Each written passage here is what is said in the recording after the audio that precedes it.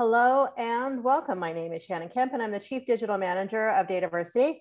We want to thank you for joining the latest in the monthly webinar series, Data Architecture Strategies with Donna Burbank. Today, Donna will be discussing best practices in metadata management with sponsored today by erwin. Just a couple of points to get us started. Due to the large number of people that attend these sessions, you will be muted during the webinar. For questions, we will be collecting them via the Q&A panel, or if you'd like to tweet, we encourage you to share highlights of questions via Twitter using hashtag DA strategies. And if you'd like to chat with us or with each other, we certainly encourage you to do so. To open the chat and the Q&A panels, you will find those icons in the bottom middle of your screen to enable those features. And as always, we will send a follow-up email within two business days containing links to the slides and recordings of this session and any additional information requested throughout the webinar. Now, let me turn it over to Monique for a brief word from our sponsor, erwin. Monique, hello and welcome. Hi, Shannon. Thank you, Shannon and Dataversity for allowing us to be here today and welcome everyone from Portland, Oregon. Um, I am also personally looking forward to hearing from Donna on this topic, uh, but I'd like to share with you just a few thoughts on metadata management from erwin's perspective before we get started.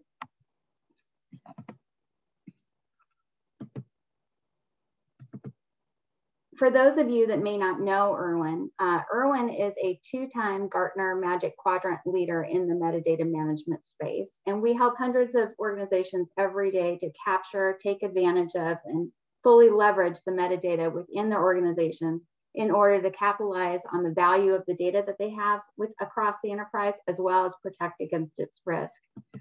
Don is going to get into much more detail around metadata management and what it provides. But in a nutshell, according to Gartner, metadata really is any data within your organization that's used to enhance the usability, comprehension, utility, or functionality of the data that you have.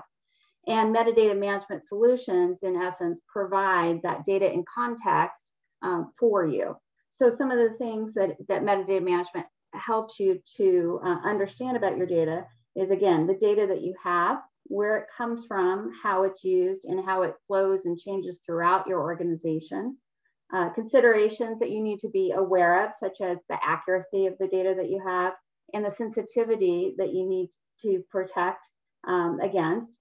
Who is accountable for the data that you own? And when empowering users, what rules and restrictions should you have in place in order to ensure that they appropriately leverage the data?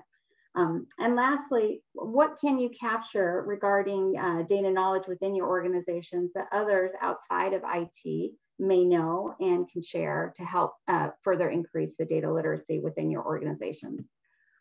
Effective metadata management solutions really enable enterprise data visibility, automation, governance, and collaboration across your entire organization. And they do this by bringing in the technical metadata throughout uh, your organization that's associated with your technical data elements into a central data, a metadata repository. Um, effective metadata management solutions give you the tools to automatically discover and harvest this information, bringing it into the, the metadata repository, and then be able to curate that information with addition, additional details uh, regarding uh, technical um, characteristics, business uh, characteristics and um, data fitness characteristics to provide a fuller context of the data that you have at hand. If it's integrated with a with governance capabilities, metadata management solutions can also then help you to curate um, all of your, your metadata uh, or to govern the curated metadata that you have within your organizations. Um, helping to manage the data stewardship stewardship process, attaching ownership, attaching data classification, and managing uh, the rules and policies that you put in place in order to ensure that as business users are using the data, that they're using it appropriately, um, as well as within context of, of understanding um, what is available to them. Effective metadata management solutions these days don't only store uh, metadata within a central repository, but they also activate the metadata to get rid of, of a lot of the, the previously manual processes and, and be able to generate different uh, data discovery artifacts, um, such as data lineage, impact analysis, or knowledge graphs, such as the one that you see on the screen, which give a make it easy for business users and others throughout the organization clearly understand the data assets that are available for them and how it relates to both the technical data within the organization and other, other relationships that there may be uh, within the business asset um, storage that you have.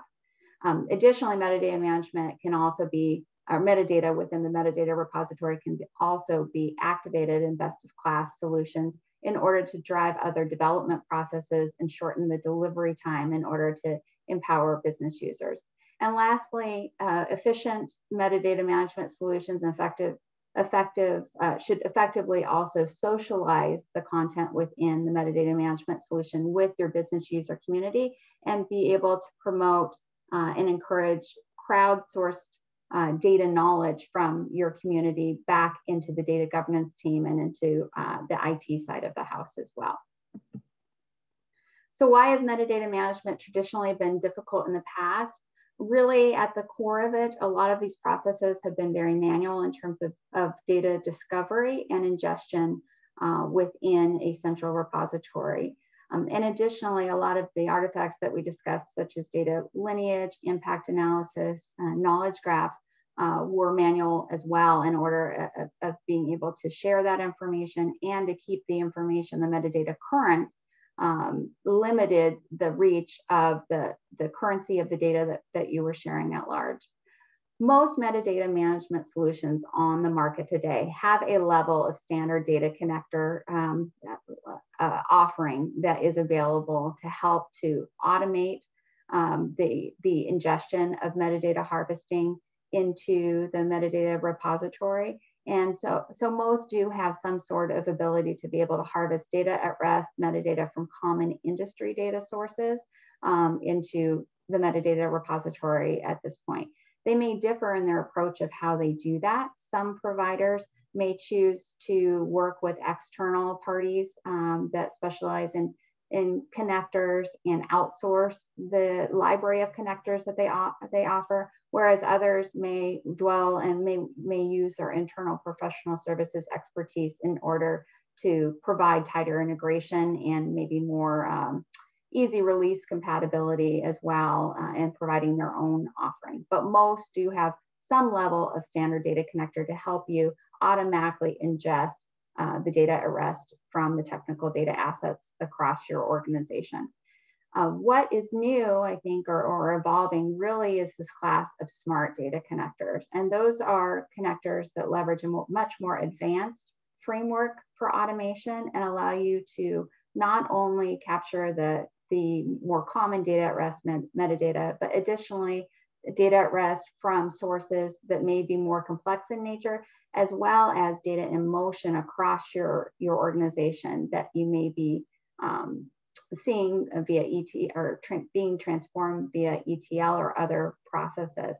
And by allowing the ability to be able to capture this, this more complex data, um, you're able to provide your organization with a, with a much more complete uh, view of your data landscape in its entirety, as well as more easily maintain and keep it, keep it current. Additionally, smarter data connectors uh, are able to as well not only um, get, help you get the metadata into the repository, but additionally activate that metadata to drive development processes um, to be able to, to streamline um, the development of new data pipelines or help you uh, manage cloud migration and, and get from a uh, current state to a future state much more quickly through code generation and such this is really uh, what's changed with metadata management. Um, you know, Gartner recently released a, a, research report as well that said basically, in essence, metadata management solutions are rapidly becoming more focused on what you can do actively with metadata rather than solely how much you can store within a metadata repository. And so examples like that on the screen uh, give you an, give you an idea of the types of things that you can leverage metadata for in order to really drive further greater insight and new efficiency across your organization relative uh, to the data that you have. So what should you look for in a best-in-class metadata management solution? We've suggested a, a few different items here um, that I'll let you take a look at. But at the highest level, I think that, that I would advise that you concentrate on three primary areas.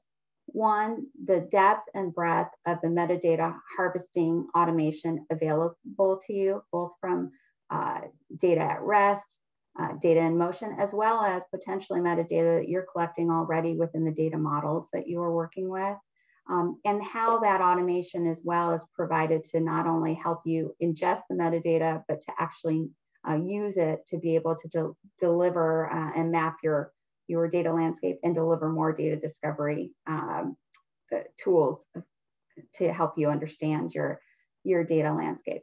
Two, um, what types of drill down uh, visualizations or data discovery aids are you able to provide across your organization, such as data lineage, impact analysis, or knowledge graphs that help people to really understand and discover quickly what is available um, and then understand how to use it or how to protect it as they use it.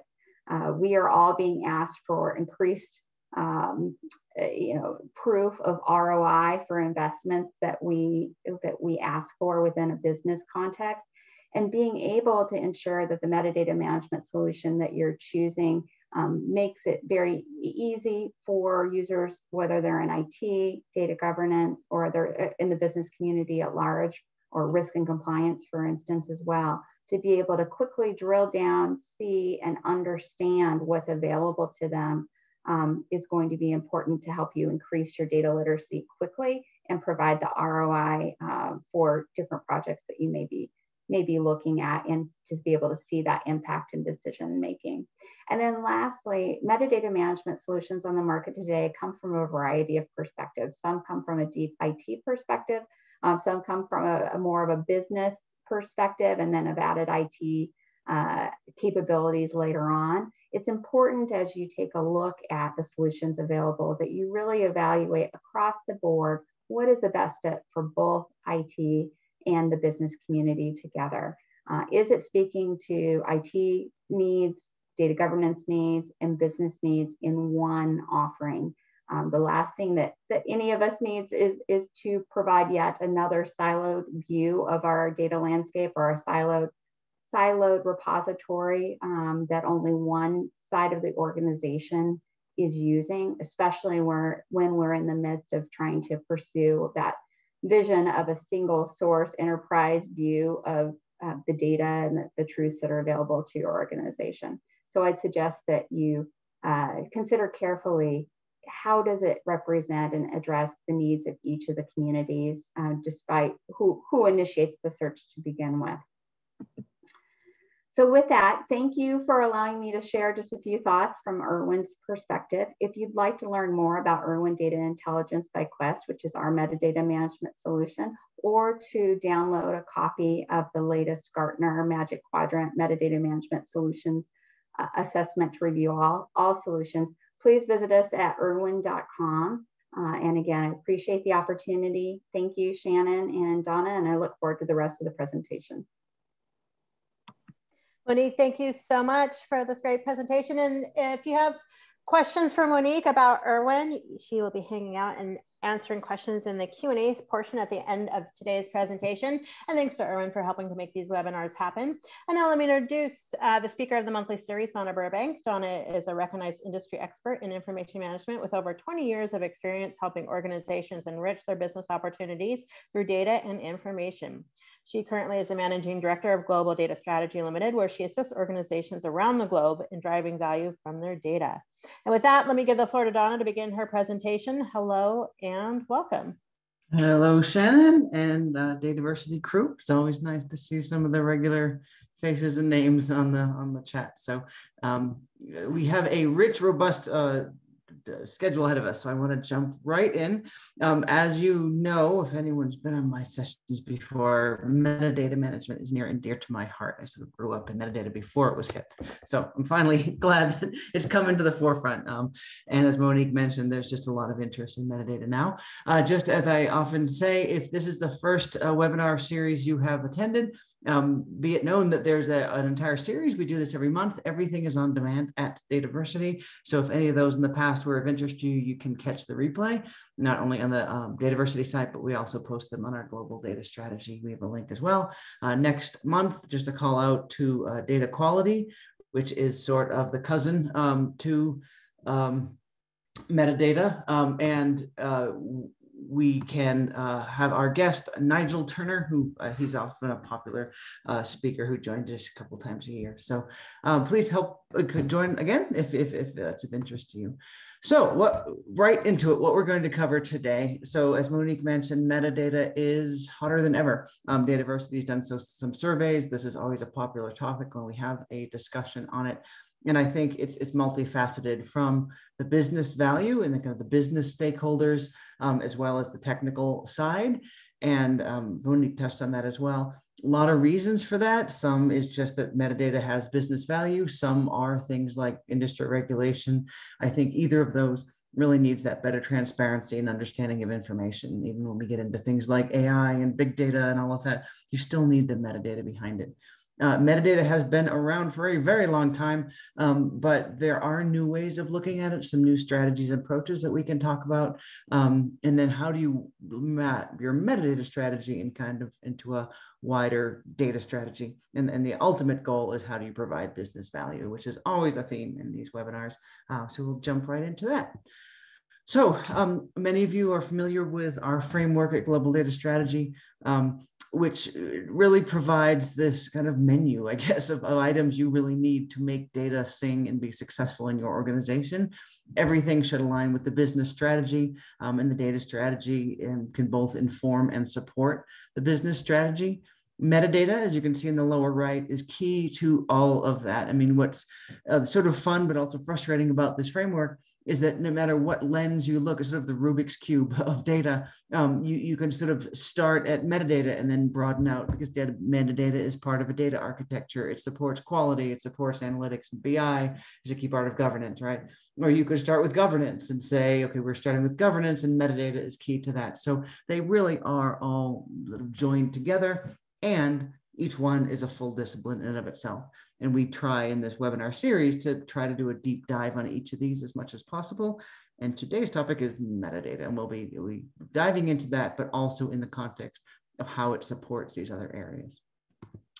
So what is metadata? Metadata, as I like to, to term it, and I'm glad everyone kind of picked up on that as well, um, is metadata is data in context. Um, one of my many pet peeves in life, I often use this, this soapbox to rant about data issues, but um, is that metadata is such an intuitive thing. It's such a helpful thing. And then we pick this really nerdy um, obfuscating word called metadata.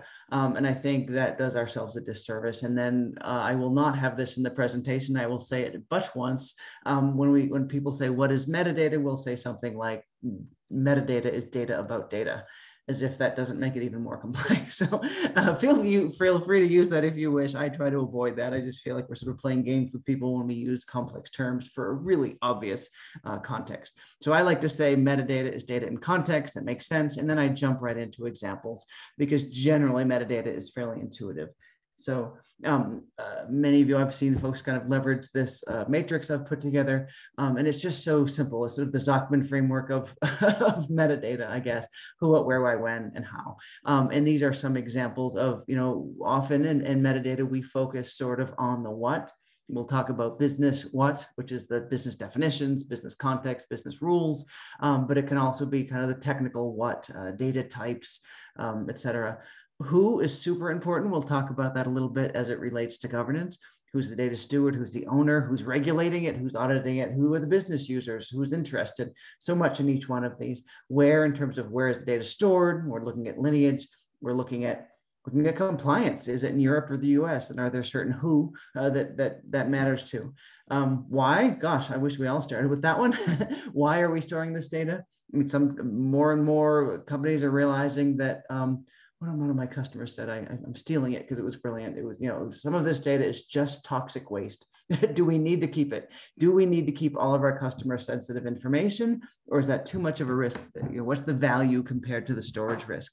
Not only in terms of, you know, the storage in terms of bits and bytes and volume, but in terms of risk um, and auditability or what's the business drivers let's focus no one can focus on anything and, and monique touched on that that you know, with these tools, actually, some of those tools have been around for decades now that you can scan the data in um, and, and I, I see that some of these tools are so slick, it's really easy to get carried away and scan in everything or, or try to define every single business data element in the planet.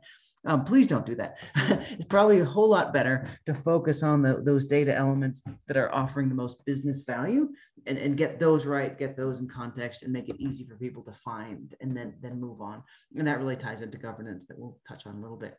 The when, super important. When was it created? how long should it be stored when should it be purged retention rules um, and then the how i think is, is kind of like the what know the core you know how is it formatted how many data stores et cetera et cetera so um, hopefully this is a helpful context of the data and context um, that you can kind of use and, and it is multifaceted um, some people um, you know when they're thinking of metadata they think of the business definitions and they're right um, some people correctly think of it as the technical definitions or the lineage And they're right as well. So uh, rather than argue, we sort of are inclusive and embracive of all of that. So um, what is metadata? Just a couple more examples. Um, data versus metadata. This could be a, a, fun party trick too. Some people's data is other people's metadata. And again, you can go crazy. But um, if you just think of a database almost as a spreadsheet, um, just as totally simplify, and you had a simple spreadsheet of names and addresses and your company, your retail store, um, the the names, the actual the fact that Joe Smith bought a computer at Computers R Us in New York um, and purchased it in 1970. That's the data. The metadata is that Joe represents the first name, Smith is the last name. Okay, and that might seem boring, but it's something like a year. Is that the year it was purchased? Did they have computers back then? Or is that the year that Joe was born, perhaps? Is that a metadata issue? Is it a data issue? I mean, that's the type of stuff that really can make or break a, a business intelligence campaign. Um, and and I will I will use the soapbox to share some of my stories and of of metadata issues. And we could have, gosh, a whole week a whole week uh, conference on metadata horror stories, right? Um, but I think that we all have them, and, and what's so frustrating about them, it's such a simple thing. Could you just put instead of year, you're born, you're purchased, you became a loyalty customer, and um, you know, just write it down. Someone said once, you know, metadata is sort of a gift to yourself or gift to somebody else 10 years later. Um, and that really is important. So easy to do, but so valuable when you do it. Um, so there's often more even in, into this context you know something as simple as um, you know last name what is that? Is that uh, the surname or family name? But in, in, some markets that actually is, is the other way around that what we call the last name is what in the west we call the first name etc something like city is that the city where, where joe smith lives or the city where the store is located or you know so we go crazy but just getting that simple context can be so valuable and that is metadata um, I, will focus a lot on the business value of metadata and kind of the business metadata. Sometimes that is the biggest value. Um, I often tell this story when I, I was a young and, one of my first um, big metadata um, implementations was one of the big Wall Street banks uh, on Wall Street. And I, I, had one of the biggest, slickest tools at the time. And I wanted to get all the cool technical metadata in. Um, and the project manager at the time said, just build a glossary, you know, define what a default credit swap is. And seriously, we've all, I was, I was really angry. I remember storming out of the building once and st- stomping my way home um, because I wanted to do the cool stuff. But long term, he was right because we got the buy-in from the business. All the traders went to the glossary because that's where they needed to know all these different uh, tools they had. And then later we linked it to everything and we had a full lineage and it was one of actually the biggest uh, metadata implementations I've, I've ever done. And we got to the tech but we got to the tech by starting with the business. And that was kind of a good lesson for me to remember. You know, often the business course gets it more than IT. I often feel I have to argue with IT to do it, and business can't understand how you can work without it. Um, something, and this was a survey from uh, Dataversity a while back, we did a survey of metadata, um, and 80% of the users were sort of from the business, and they really saw that, you know, how can you function without it? I remember once I was doing a business case to our executive sponsor of the project, and it was from finance, we went through the whole long presentation of why you need the context of data and why you need the lineage and, and how this report was calculated. And she looked at us funny and said, I mean, you're not doing that? Like, that's really scary. She said, we couldn't get away with that in finance. I don't know where our money comes from. We just have some in the bank. Um, so I think now that data is becoming more of a, an asset and people are realizing that it's always been an asset, but people are realizing it. We have to have more rigor around how we're managing it, uh, which I think is a good thing. Um, so again, something as simple as, if you think of the person um, earlier, something like how was total sales figures calculated. And that's why sometimes you do sound like a crazy person when you talk about metadata. You know, what did you, I went through a little tweet storm a while back of, you know, during the day, what, what did I do? You know, I spent all day defining um, what a country was or what a flavor was or what a product was. And then, and, you know, you come home at night. So what did you do? I defined what, what, you know, a region is. And people think you're strange. How complicated can that be? Um, but it can be. So something like total sales that seems on the surface so simple, but there's a lot of nuance to that. Show me customers by region. Now, if you're a good data architect or a metadata architect or a business analyst, et cetera, if you're like me or have been around the block, gosh, some of those words right away can trigger you. What's a customer? What's a region? Um, does that include lapsed customers? You know, how do we define what's lapsed? If they haven't paid their maintenance for six months, is that lapsed? How do you find a region? Gosh, that can be really political. What do we define a country? Um, et cetera, et cetera, et cetera. So that's all that context around such a simple report. And the business person can get frustrated. Gosh, how, how hard can that be? Until you start explaining uh, some of those nuance, and then generally people jump right in and understand. Um, my, my request to everyone on this call or anyone on the planet, please, please avoid the what I call that the I just know. Um, and some of us, again, it seems so obvious. So think of back to that that spreadsheet where it said, you know, uh, name, date, and location. Gosh, I don't, I just know how hard is that? It's the location of the store. Well, when you retire 20 years later, does someone know that that was the location of the store? Um, or is that the location of the customer? Like that's that's a very big difference. Uh, and and gosh, I stay in business at our company um, partly for that reason. I mean, that those were easy examples, but how many times have you seen something of you just see you do data profiling and there's a funny field in there, and they say, oh, that X Y Z that means um, that that's a, pr- a, prime customer. And we just knew that because that was the easiest way to show it. Seriously, how is someone supposed to know that two years from now? Or, or the, this gentleman, you know, part number is what used to be called component number before acquisition. Well, I just know that. Doesn't everyone just know that? Just write it down, put it in a business glossary, metadata repository, metadata catalog, data model, you know, wherever. There's a lot of ways to store metadata, but just document it because that's the type of thing that causes multiple embarrassing issues in, in organizations. Um, a little quote from my uh, cartoon from my book that I like to show that isn't really funny at all, but it's particularly not funny when, until this has happened to you. Okay, we're almost done with acceptance testing. We're running out the application. Just one question, what's a customer?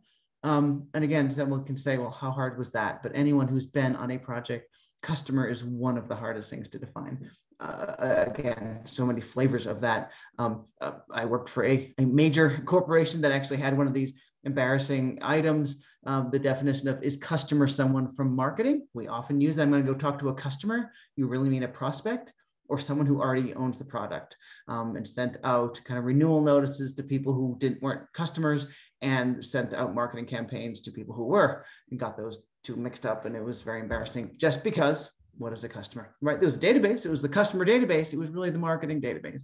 Big difference, right?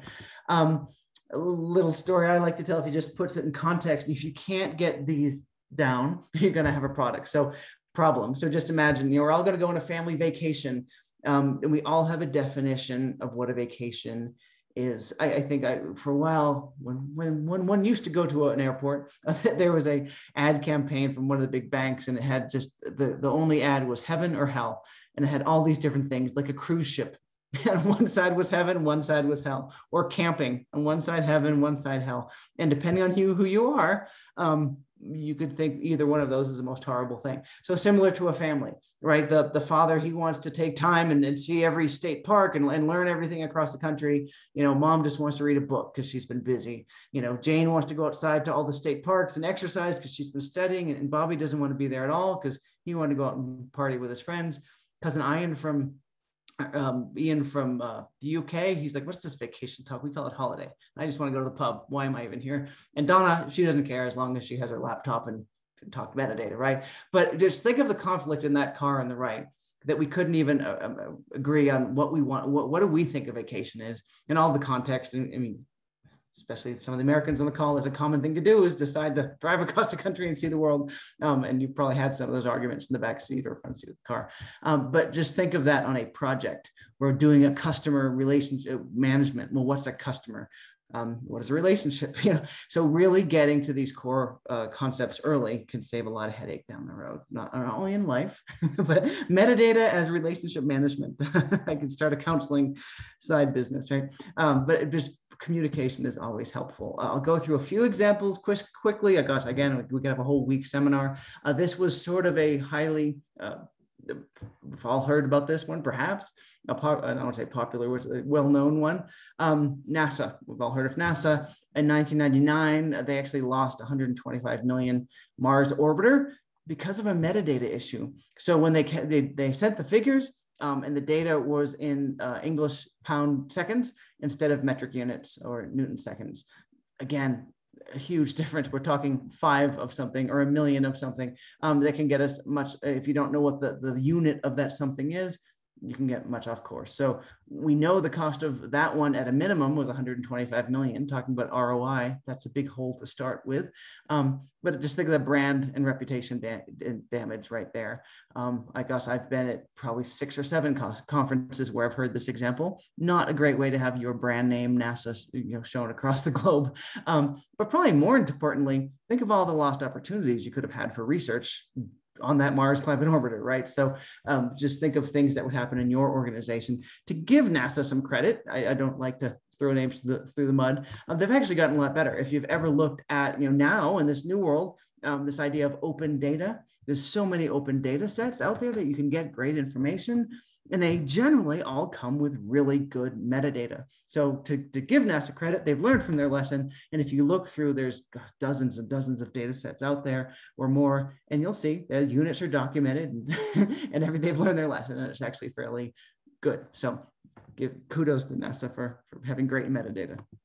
Um, just one more story. You'll be probably bored with my stories, um, but this is a, a real world example where actually I was doing this for a webinar on self-service data analytics. And the point of the webinar was supposed to be how there's so many great open data sets. You can use these new slick tools and really be a citizen data scientist and, and be a hero really quickly. So I picked this data set um, from a, a, UK um, open data set, and I thought it would be fun. It was vehicles by make and model um, and accidents, road safety accidents. So I thought, oh, I can, you know, whatever the car is, those Porsche drivers that get in a lot of accidents. But this is the data I got back what I don't know, 50 F13 is big. And um, yeah, 20015 BS something was big. I mean, it was it was almost comical. Uh, there's no way you can make sense of this because there's no metadata. Not only no business metadata of what F13 is, but if you look at even technical metadata, 2,100 I can, I can, I can use numbers. 2015, there's a lot of that. Uh, many 2050. That's probably a date uh, here it looks sort of like an amount, right? So simple things made this data set completely unusable. Somebody spent a lot of time doing this, and now it's completely unusable. It's almost the marketing for your data, right? If you don't have metadata, no one knows what it is. Um, actually, long story short, this was uh, coming full circle. This was, I think, five years ago. Um, we're actually working with this organization now to fix this very problem. I find that really fun. Uh, they maybe they are sort of one of our clients, so unnamed until they fix it, and then we'll show them as a success story. um, anyway, uh, I could go on and on. This, this is a kind of just to put this in all of these things that make you sound crazy, like what is a year, right? There was an international retail chain comparing fourth quarter sales generally in fourth quarter you see a spike because in many um, areas that's the holiday season but latin america didn't see that that they actually um, so that what can we do? Can we increase marketing? What do we do? You know all of these issues when it came down to it they were talking fiscal year um, instead of calendar year. Again such a simple thing of just define what a year is and again you can sound doesn't everybody know that we go by fiscal year not calendar year? Nope just write it down and if everybody knows write it down anyway. That's the beauty of metadata um, to finish this story, give them a little success story. Um, they actually, this fictitious company actually had great metadata, and Monique talked a lot about data lineage. That can really help with this. So we can look through and see how sales amount was calculated. We can see how which database was calculated, what business rules were used, and really get to that answer fairly quickly. And that's the beauty of some of these tools is getting that context. So you may say, oh, that's great, Donna. That's data warehousing. That's so old school. No one needs annual reports anymore. Hmm. Um, we all use big data analytics. Well, even with big data, you still need, you probably even more so, you need good metadata. So I would just say wherever you need good data, you need good metadata. And I will argue till I'm in the grave on that one. It just it makes so much sense. You almost don't need to explain it. It's just that that becomes complicated as more as your technical environments become complicated. So yet another story. Um, this and uh, all of these are sort of semi-fictional that come from clients that I just don't want to name. Um, but uh, big data analytics. So a company that uses smart meters, right? And they actually did some analysis, which is really nice. They have smart meters for their homes and, and want to see how using a smart meter can decrease energy usage over time. So they saw that customers with smart meters used um, uh, 5% um, of, of uh, for each increase in temperature, they had a 5% increase in usage compared with 20% for people with old fashioned thermostats like the one on the bottom left. So how do they re- reach that? How do you know what that even means until you get more metadata? It's almost like all of the questions I have. If you're a data person, you probably have a lot of questions. Well, how did you get that weather data? Was that a monthly reading, daily reading? Was that in Celsius or Fahrenheit? Those the percentage point increase. Um, how did you get those meter readings? Were they the billing meter readings or the actual meter readings? Or I mean, you could uh, data people should have a lot of questions, right? And, and, was usage by household, individual? How did you do households? Is it by the people living in it, by the address? Lots of different context around even those numbers. So maybe those numbers are right. Maybe they're wrong in your viewpoint. Right or wrong is is is this context, right? That metadata in context. I just want to know maybe even a simple thing. Back to the NASA example, is that Celsius or Fahrenheit? And those are very different scales. So what do I mean a percentage point um, of temperature, right? So even if we're doing big data analytics, this was a classic IoT data analytics, you still need metadata, or even more so, you need metadata. Okay, rant over on all of those stories. But um, who uses metadata? I mean, we talked a bit about business users using metadata, um, but technical people need it as well. Auditors need it. Um, almost anybody, I would say. This is a very democratic thing. Once it's there, it will be used. So it could be a developer. Um, you know, if I change this field, what else might be affected down the road? I call that impact analysis. Again, you could say, you know, is that really needed? And, and I'm amazed, even to this day, these major companies I work with that still make these very basic issues. So I guess it was two years ago now, three years ago, major retail chain in, in the US some well, not well, meaning not thinking a database administrator decided it would be a good idea to shorten the length of the product number to save some space. You can just imagine that broke all the downstream systems. They were actually down. The system was down for a full day as they fixed that and they could calculate how much revenue was lost because they couldn't, people couldn't order product because of a data type length. That was a complete metadata issue, right? I told you I wouldn't bore you too much with all these stories, but each one of these has a real world horror story around um, or success story uh, with people who, who do it well um, behind it. You know, we talked about the business person. How do we define regional sales? Um, it could be a, a, data architect or a, a citizen data scientist. What uh, there's a lot of data out there. What's the approved data set? How should I store it? um, how do I how do I map that across? Or I'll just jump to the one on the right. We often forget you know just a, a regular person. Um, I, I, I join a company who doesn't get confused by the acronyms or how how the company terminology. Often it's you know back to that Wall Street example I had. Just having that kind of common lingua franca of a company can be part of your metadata dictionary. So lots of good usages. Uh, governance is a key way to, so metadata supports data governance. Um, again, often a metadata, uh, a data governance task is a defining key KPIs and measures, defining core terms, defining lineage, business rules.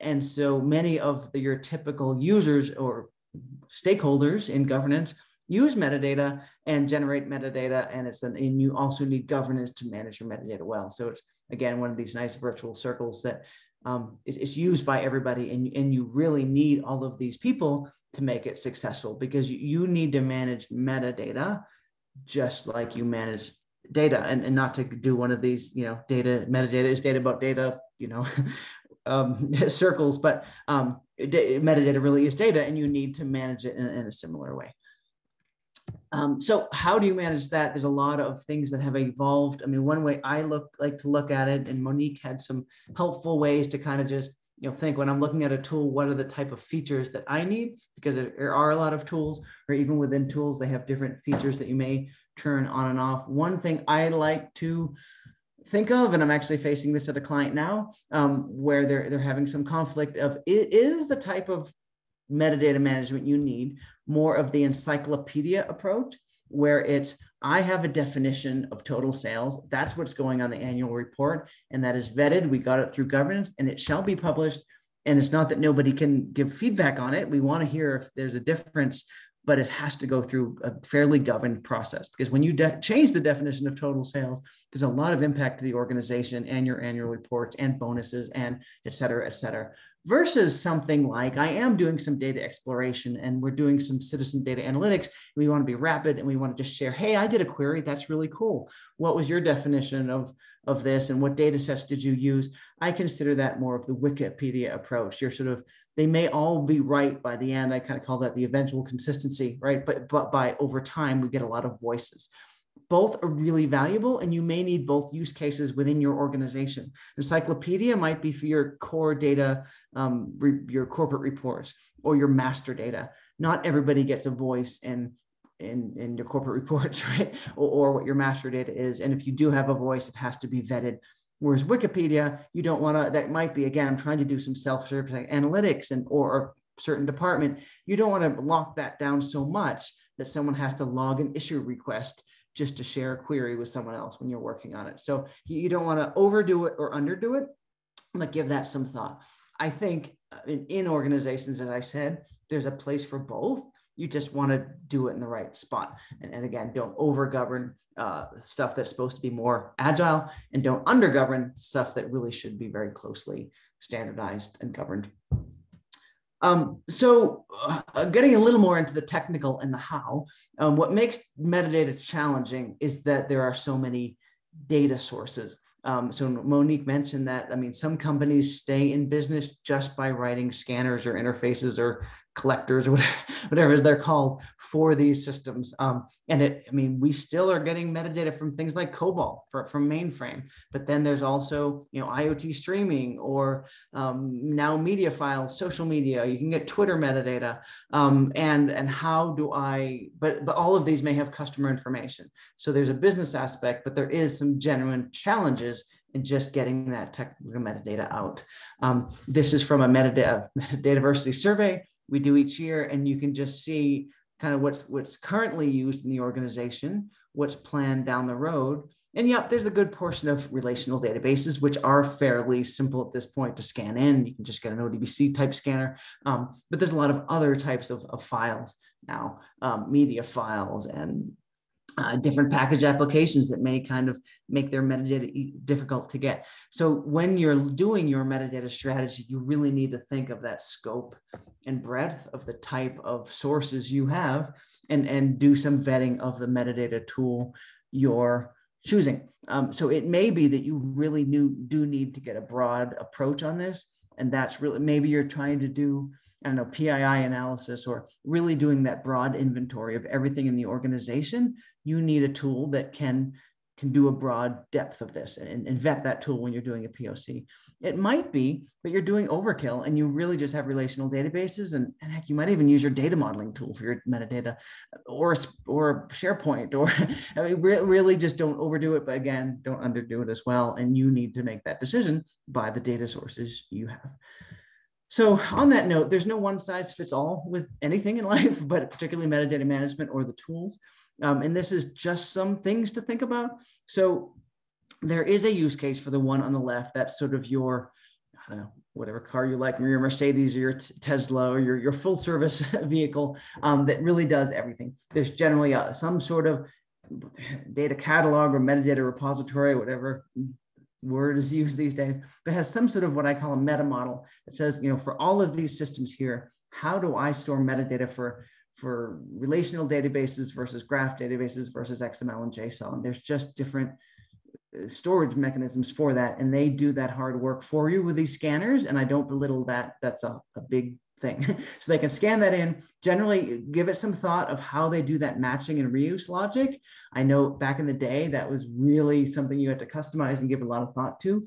Uh, like anything in life, eh, things have gotten simpler, but in some ways that's a bad thing. I sometimes ask vendors, well, I've scanned the database in and then I change the table and I want to scan it back in do you match on the name of that column? What if you've changed that name or do you have an ID and they say, oh, don't worry about that. We've got it handled. Well, you should be worrying about that because that's going to happen, right? So kick the tires a little bit. Some cases you don't want to know, um, have to do all of these things manually, but in some cases you absolutely do. So think of that.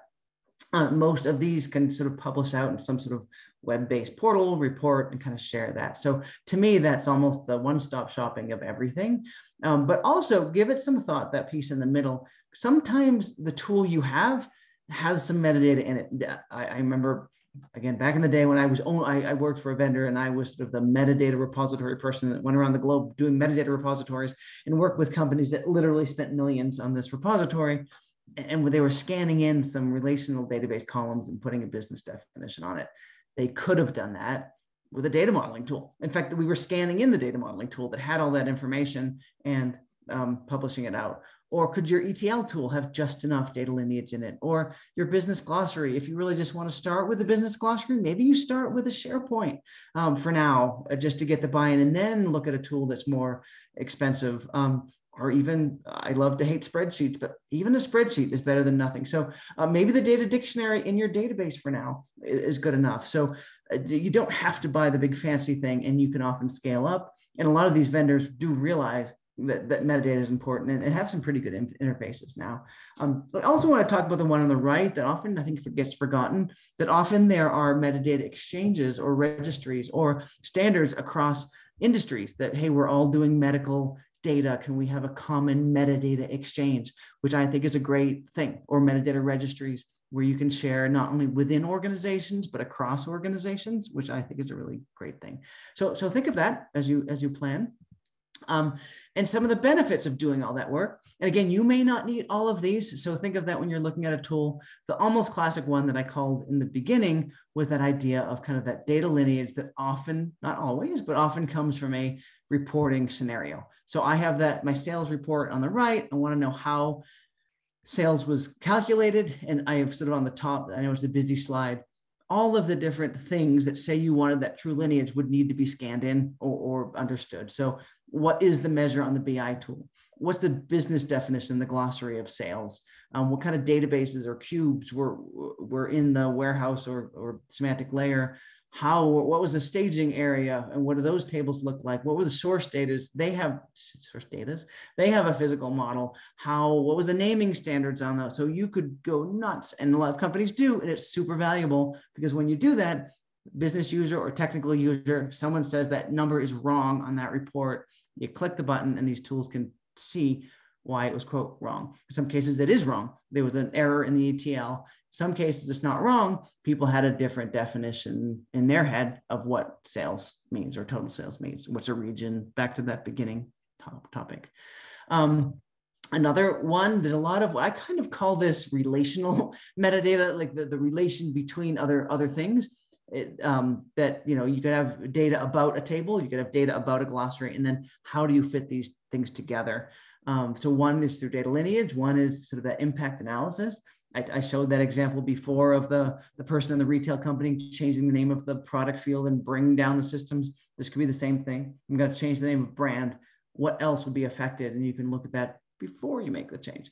Um, so this could be, I have a measure what, on a BI report, what other reports use this measure, et cetera, et cetera. A lot of that kind of downstream or upstream, I guess, um, analysis. It can be, this should be near and dear to Monique's heart, um, kind of that semantic layers, and this is common in something like a data modeling suite, but not only there, it could be between your glossary and the physical definition. You know, I have a concept called the client, but maybe in the logical model that's called customer, and then on the different databases that's cust, it's customer or C table 1962 or, or whatever, but getting that lineage from the business semantics down to the technical implementation can be another kind of lens to look at your metadata. And, and again, a lot of the tools, some of them have all of these, some of them have none of them, but think of your use case as you're looking at a tool. Um, I think eventually you do need a tool for metadata. I could draw it on sticky notes, but that would be kind of a limited thing. So I am kind of talking a bit about tools.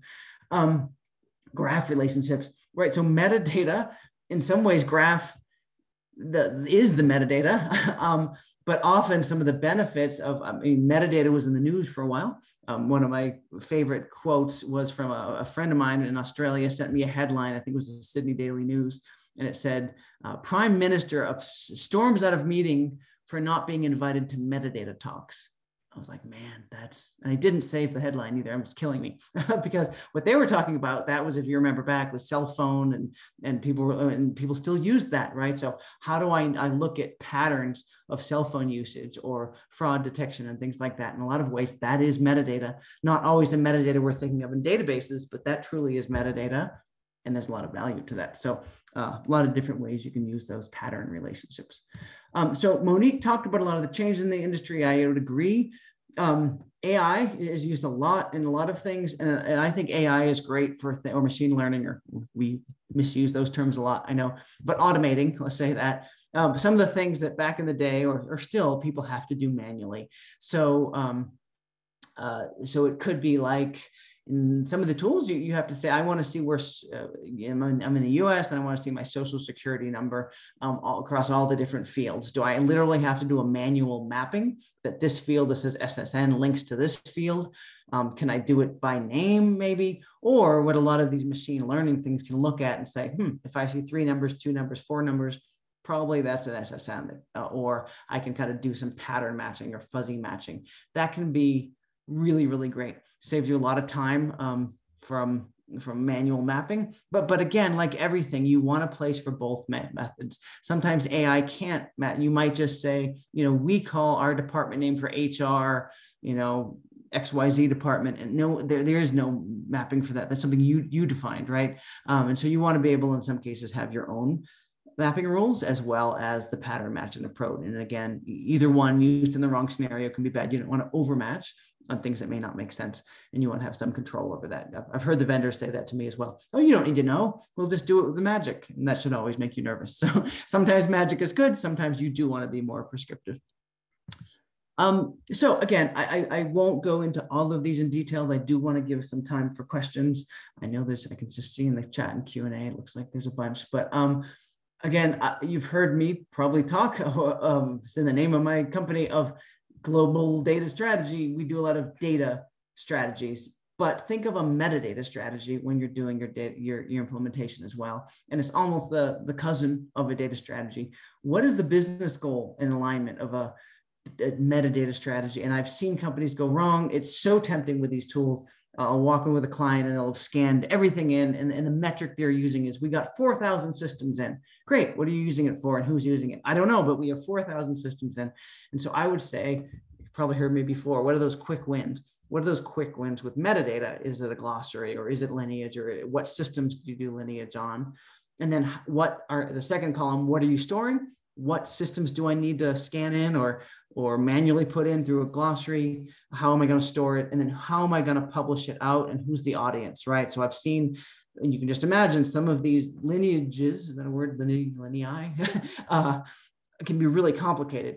Probably not what you want to show to the ceo if they say how do you calculate total sales that might be more of a, a glossary term. So think of the different audiences and what display they might want. And then don't forget how are you going to govern that over time who are the roles defining governance, what needs to be vetted monitored, what's more of that Wikipedia approach, and how do you manage quality and progress over time.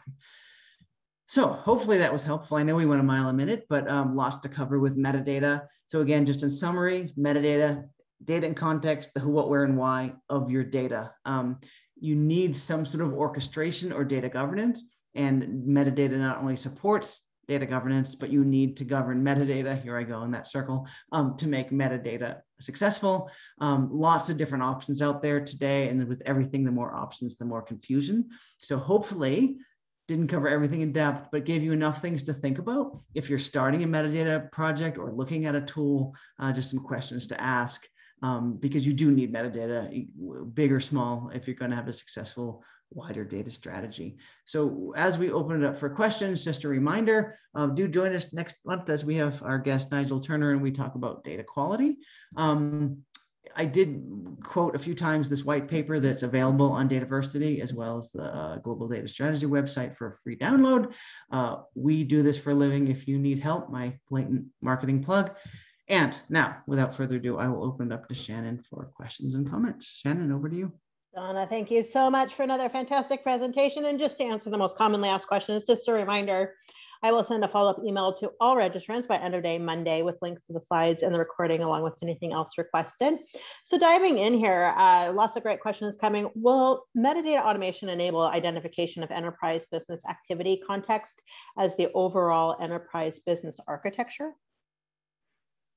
A business activity is in, interesting. I think usage patterns can be a bit of, of metadata. I do think there is um, an overlap between and again, what one person calls metadata, someone else calls something else. There's, you know, some of the security tools or you know uh, tools that can kind of look at data passing across the network to say something like where are credit card information being used, and you can actually see that. And, and Monique mentioned that as well. Kind of that data in motion can be a really interesting usage. So you might have kind of that static metadata to say even what are those fields that are interesting to track or even see usage. Um, and that might be one way these kind of network scanners that can say people are sending emails about it or, or and or um, I'm not sure exactly the, the context of the question. Some people have basic metadata metrics of this is a BI report and this is how many people are using this report. And these are the fields that are used the most and kind of do that usage patterns of data is another metadata because that's kind of the context around it. So those are a couple examples that might be helpful.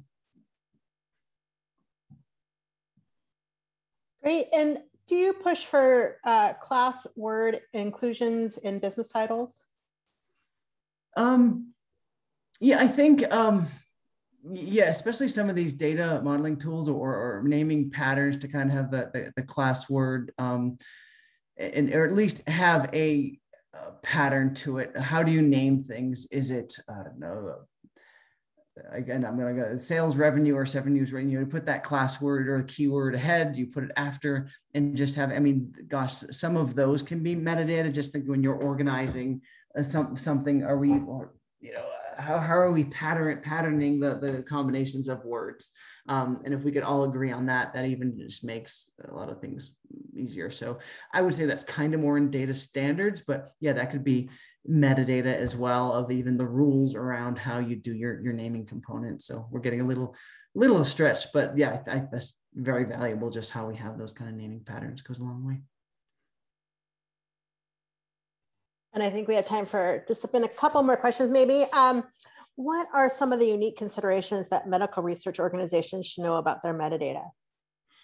Ooh, there's a good one. Um, so we actually seem to be getting a lot more interest from those kind of companies later. Um, so privacy is a big one, right? So, um, well, no, knowing how these fields are tagged, knowing the context, say if you're doing a clinical trial, um, that almost reminds me of some of these open data sets. Data in one context has a very different meaning in another context.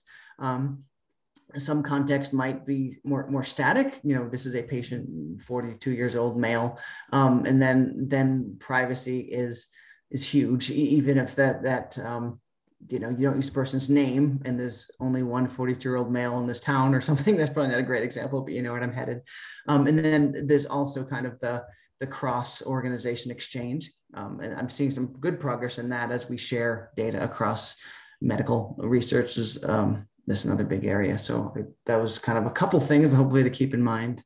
Um, yeah. period of time.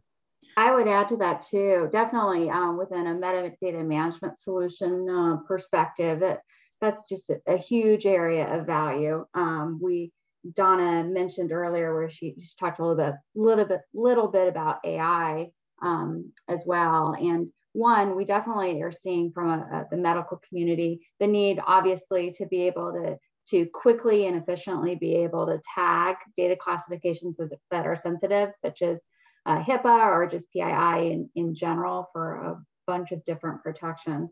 Um, the metadata management solutions that are out on the market that are helping data stewards and data, data governance teams doing this um, should be uh, working down the path of using AI and other means to help at least discover within the data landscape where are those fields uh, of, of, technical met metadata that would apply. And then again be able to, to show via the knowledge graphs and data lineage and other, other um, discovery aids uh, you know, these, these do apply there and then be able to help the data stewards use AI and other tools to really efficiently and quickly tag tag those um, based on their judgment, whether or not it is a good fit, and um, and apply all of the policies and rules and so forth um, that should guide the usage of the data.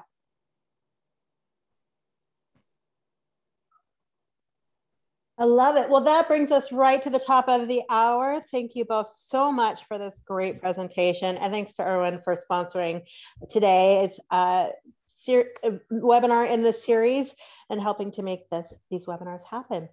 Thanks everybody for all the great engagement. Again, I will send a follow-up email by end of day Monday for this webinar with links to the slides and links to the recording. Thanks everybody. I hope you all have a great day. Thanks all. Thanks, Donna. Thank you.